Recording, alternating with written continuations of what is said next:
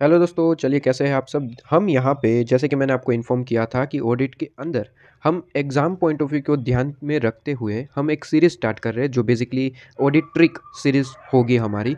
यहाँ पे इस सीरीज़ के अंदर क्या होगा कि हम हर एक पॉइंट को अपने ट्रिक के हिसाब से याद करते चलेंगे। यहाँ पे हमारा मकसद क्या होगा कि जो भी टॉपिक हम डिस्कस कर रहे हैं, जो भी टॉपिक हम रीड कर रहे हैं, वो एग्जैक्ट हमारे दिमाग में बैठ लिया जाए।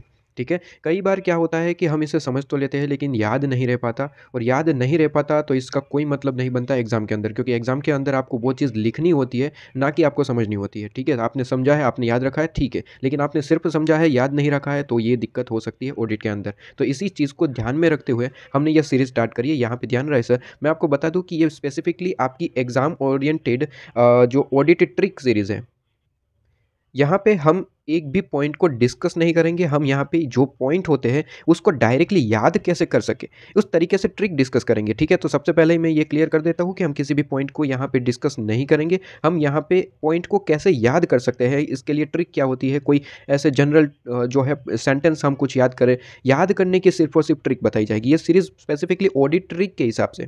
ठीक है? तो यहाँ पे मैं पहले ही क्लियर कर देता हूँ, हमारी सीरीज़ स्टार्ट होने से पहले कि हम यहाँ पे किसी भी टॉपिक को डिस्कस नहीं करने वाले, हम यहाँ पे टॉपिक को याद कैसे करना है, उसके लिए हम मेहनत करेंगे, ठीक है? तो हमारा मकसद होगा कि जैसे ही वीडियो लेक्चर खत्म हो जाता है मतलब कि ये जो हमारा वीडियो है, आप जिस भी पॉइंट के लिए देख रहे हैं पॉइंट वाइज हम वीडियो प्रोवाइड करेंगे और इसके लिए प्ले की लिंक आपको डिस्क्रिप्शन में मिल जाएगी, जैसे ही बन जाएगी, हर एक वीडियो की डिस्क्रिप्शन में आपको प्ले की लिंक प्रोवाइड कर दी जाएगी। ठीक है? तो पॉइंट वाइज हमारे पास में वीडियो बनाए जाएँगे। हमारा मकसद ये होगा कि जैसे ही वो टॉपिक जो वीडियो है, ठीक है? उस टॉपिक का जैसे ही ख़त्म हो जाए वीडियो आपका वो टॉपिक जो है वो दिमाग में बैठ जाना चाहिए, ठीक है? और उस तरीके से ही आप याद कर पाएँ।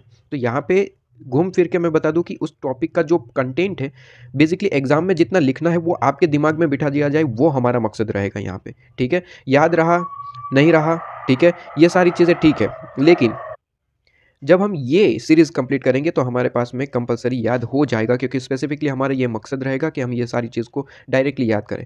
अब यहाँ पे ध्यान रहे सर जिस भी टॉपिक की बात करेंगे, हम टॉपिक का एक्सप्लेनेशन बिल्कुल भी नहीं देंगे, क्योंकि वो आप अपने लेक्चर में कंप्लीट करके आए होंगे। ये आपका pre exam oriented audit trick हमारी सीरीज़ रहेगी कि एग्ज़ाम के अगले दिन भी कोई टॉपिक में आपको दिक्कत हो रही है कि कैसे याद करेंगे तो वो ट्रिक वीडियो आपको ये प्रोवाइड किया जा रहा है। तो पहले ही मैंने सारी चीज़ें क्लियर कर दी। आइए चैप्टर नंबर वन में हम इस वीडियो के अंदर हमारा topic number two I module लेके बैठा हूँ। हमारे जो हमारे जो नोट्स है, वो ओपन करके नहीं बैठे क्योंकि हर एक स्टूडेंट के पास आई मॉड्यूल होती है तो हम आई मॉड्यूल में यहाँ पर डिस्कस करेंगे राइट तो इस वीडियो में हम जो है पॉइंट नंबर टू और पॉइंट नंबर थ्री डिस्कस करेंगे, ठीक है? और वीडियो को कंप्लीट करेंगे। इसके बाद नेक्स्ट हम यहाँ पे डिस्कस करेंगे। Point number two origin of audit origin of auditing में आपको याद रखने वाली बात डायरेक्टली हम इस वीडियो में जैसे कि मैंने बताया कि आपको याद रखने वाली बात जो है, वही डिस्कस की जाएगी। बाकी सारी बातें जो है, वो आप एम पॉइंट ऑफ़ व्यू से अपने हिसाब से रीड कर सकते हैं। ठीक है? मैं यहाँ पे वो चीज़ कवर करवाऊँगा जो आपको स्पेसिफिकली याद रखनी है। और बाकी जो चीज़ मैंने कवर नहीं करवाई मतलब कि जो मैंने आपको नहीं करवाया, वो आपको सिंपली समझ लेना है कि वो एमसीक्यू पॉइंट ऑफ़ व्यू से हो सकता है आ जाए। तो एक आध बार आप उसे रीड कर सकते हैं।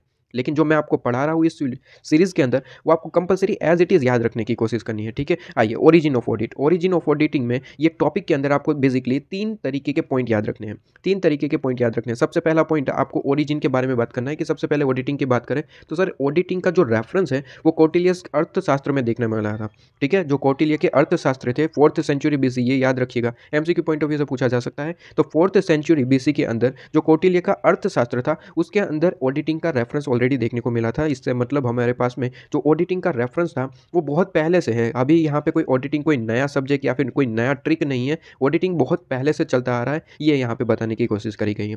तो सबसे पहला पॉइंट हमारा क्या याद रखना है? एज इट इज़ दिमाग में याद रखिए कि कौटिल्य के अर्थशास्त्र में जो है ऑडिटिंग का रेफरेंस देखने को मिला था। यार याद रखिएगा फोर्थ सेंचुरी बीसी ठीक है? सेकेंड पॉइंट याद रखेंगे कि ऑडिटिंग जो हम यहाँ पे बोलते हैं, जो ऑडिट वर्ड बोलते हैं, ये आपका ओरिजिनेट हुआ था लेटिन वर्ड एडायर ठीक है? ओडायर बोलते हैं ओडी बोलते हैं, ठीक है? आप जो भी प्रोनाउंसिएशन करें, लेकिन वर्ड आपका जो है, याद रहना चाहिए। मतलब कि आपको स्पेलिंग आपको याद रखनी है। स्पेलिंग मिस्टेक इसमें बिल्कुल भी नहीं चलेगी, अगर आप जो है कुछ राइटिंग वगैरह पूछ लिया गया, ठीक है? छोटा मोटा क्वेश्चन पूछ लिया गया। तो ध्यान रहे सर वर्ड में जो स्पेलिंग लिखते हैं, उसमें यहाँ पे बिल्कुल भी गलती ना होनी चाहिए। इसमें जो है, अगर गलती हुई तो मार्क्स कट जाएँगे। ठीक है? तो प्रोनाउंसिएशन आपके अपने हिसाब से कर लीजिए, कोई दिक्कत नहीं है, लेकिन स्पेलिंग आप मिस्टेक नहीं करेंगे, ठीक है? तो A U D I R है, ठीक है? ये लेटिन वर्ड था, जिसमें से ऑडिट वर्ड निकल के आया है, ठीक है? तो पहले ये वर्ड हुआ करता था, जिसमें से हमने यहाँ पे ऑडिट वर्ड निकाला है। ये वर्ड का मतलब होता था टू हियर ठीक है? मतलब कि सुनना। पहले क्या हुआ करता था कि पहले यहाँ पे ऑडिटर जो है, जो पहले के ज़माने में ऑडिटर जो है वो लोगों को सुनता था और अकाउंटिंग प्रिपेयर करता था। इसलिए तब यहाँ पे ऑडायर एडायर जो भी वर्ड आपका है, बोला जाता था, जिसका मतलब था टू ईयर और वक्त चलते चलते हमने इसे जो है रिकॉर्ड करना स्टार्ट कर दिया और इस वर्ड को हमने बदल दिया है ऑडिट से। ठीक है? अब हम इस वर्ड को क्या बोलते हैं? ऑडिट ठीक है? इसके बाद थर्ड पॉइंट आपको याद रखना है थर्ड पॉइंट आपको याद रखना है कि फ़र्स्ट ऑडिटर जनरल ठीक है? First auditor general of the India appoint किसने किया था? ब्रिटिश इंडिया ने किया था। ब्रिटिश इंडिया 1860 के अंदर जो है फ़र्स्ट ऑडिटर जनरल को अपॉइंट किया गया था। अभी फ़िलहाल की बात करें तो हमारा जो CAG है लॉ के अंदर पढ़ते हैं आप कंट्रोलर एंड ऑडिटर जनरल जो है हमारे पास में, ये फ़िलहाल जो है ऑडिटर के नाम से जाना जाता है। मतलब कि जो गवर्नमेंट की यहाँ पे तो बेसिकली यहाँ पे मैं कहना चाहता हूँ कि जो गवर्नमेंट के रिसिप्ट और एक्सपेंडिचर है, उनका जो यहाँ पे ऑडिटिंग प्रेजेंटली जो ऑडिटर करता है ऑडिटर को हम यहाँ पे कहते हैं सी ए जी ठीक है? सी एंड ए जी भी बोला जाता है सी ए जी भी बोला जाता है अपने तरीके से, लेकिन शॉर्ट फॉर्म तो एग्ज़ाम में लिखना नहीं है, आपको फुल फॉर्म ही लिखना है। तो मैं हमेशा कहता हूँ कि प्रोनाउंसिएशन चाहे मर्ज़ी आप अभी कर लीजिए प्रैक्टिकल लाइफ में तो आप सीख ही जाएँगे, लेकिन फ़िलहाल के लिए प्रोनाउंसिएशन अब जो भी करें स्पेलिंग मिस्टेक नहीं होनी चाहिए। तो controller and auditor general of India जो है फ़िलहाल जो गवर्नमेंट के यहाँ पे करंटली जो है यहाँ पे जो ऑडिटर के नाम से जाना जाता है राइट और यहाँ पे फोर्थ पॉइंट जो है, वो तो बेसिकली वैसे ही मैंने मार्क कर रखा है। ये हर एक बच्चे बच्चे को पता होना चाहिए कि I India institute of chartered accountant of the India nineteen के हिसाब से ईयर याद होना चाहिए। ठीक है? तो यहाँ पे स्टेचुटरी बॉडी जो है वो पार्लियामेंट के अंदर रेगुलेट कब हुई थी? 1949 के अंदर। ये फोर्थ पॉइंट है नहीं आपको याद होना चाहिए। ये बेसिकली एक्सपेक्ट किया जाता है आपसे ठीक है? तो मेनली तीन पॉइंट है जल्दी से हम इसे याद कर लेंगे। आ, वीडियो थोड़ा सा बड़ा हो सकता है क्योंकि हम यहाँ पर कुछ चीज़ों को लिख लिख के हम याद कर लेंगे ठीक है? आप इसे स्पीड बढ़ा के भी देख सकते हैं ठीक है? एग्ज़ाम पॉइंट ऑफ़ व्यू के हिसाब से लेकिन हम यहाँ पर याद करेंगे। सबसे पहला पॉइंट याद करिए सबसे पहला पॉइंट कौटिल्य ठीक है? कौटिल्यस अर्थशास्त्र ठीक है? कौटिल्य अर्थशास्त्र जो यहाँ पे आपका ईयर दिया गया था ईयर याद रहना चाहिए फोर्थ सेंचुरी बीसी के अंदर, ठीक है? ऑडिटिंग का जो है रेफरेंस जो है वो कौटिल्य के अर्थशास्त्र में था, जो कि यहाँ पे ईयर है फोर्थ सेंचुरी बीसी ये सबसे पहला पॉइंट था। एज इट इज़ इस तरीके से याद रखना है। मैं आपको बताता चल रहा हूँ कि क्या चीज़ आपको याद होनी चाहिए। इतनी चीज़ याद हो गई, काम खत्म, वो सफिशियंट कंप्लीट हो गया, ठीक है? वो पॉइंट आपका कंप्लीट हो गया। सेकंड पॉइंट आपको याद क्या होना चाहिए? सेकंड पॉइंट आपको याद होना चाहिए कि ये जो ऑडिट है, ये जो ऑडिट है, वो एक वर्ड से डिराइव हुआ है ओरिजिनेट हुआ है, ठीक है? ओरिजिनेट हुआ है। तो कौन से वर्ड से ओरिजिनेट हुआ है? तो ये वर्ड है एडायर ठीक है?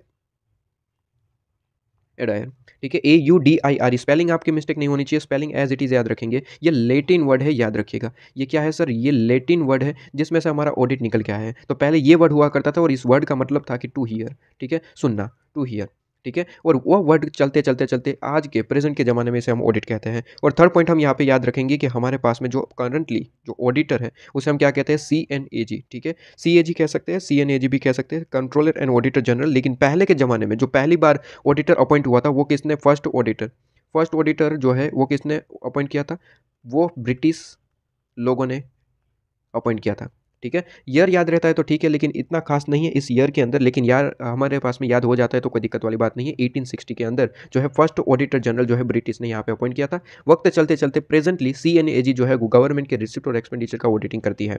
तो थ्री पॉइंट हमारे पास में याद होने चाहिए। सबसे पहला पॉइंट कोटिलियस अर्थशास्त्र फोर्थ फोर्थ सेंचुरी बीसी ठीक है? सेकंड ऑडिट कहाँ से आ रहा है ऑडिट ओडायर जो भी आप वर्ड यूज़ करें A U D I R E spelling mistake नहीं होनी चाहिए। लेटिन वर्ड था और इसका मतलब था टू हीयर ठीक है? जिसे फ़िलहाल हम ऑडिट कहते हैं। इसके बाद थर्ड पॉइंट हमारे पास में फ़र्स्ट ऑडिटर जनरल ब्रिटिश जो है, लोगों ने यहाँ पे अपॉइंट किया था 1860 के अंदर और प्रेजेंटली इसे बदल दिया गया है। अभी हम प्रेजेंटली हमारा जो गवर्नमेंट का रिसिप्ट एंड एक्सपेंडिचर का जो भी ऑडिटिंग करता है, वो कौन है sir C control and auditor general of the India fourth point है नहीं, लेकिन याद होना चाहिए नाइनटीन क्या है सर आई सी ए आई ठीक है? इसके बाद हमारे पास में थर्ड पॉइंट आ जाइए। एक काम करते हैं थर्ड पॉइंट को हम next video point wise point video आपको प्रोवाइड करेंगे। सबसे पहला पॉइंट इसमें याद रखने लायक ज़्यादा नहीं था। एमसीक्यू पॉइंट ऑफ़ व्यू से हो सकता है। क्वेश्चन आने के चांसेस नहीं है, ठीक है? इसके बाद अब क्वेश्चन आने के चांसेस जो है वो नेक्स्ट स्टार्ट होंगे।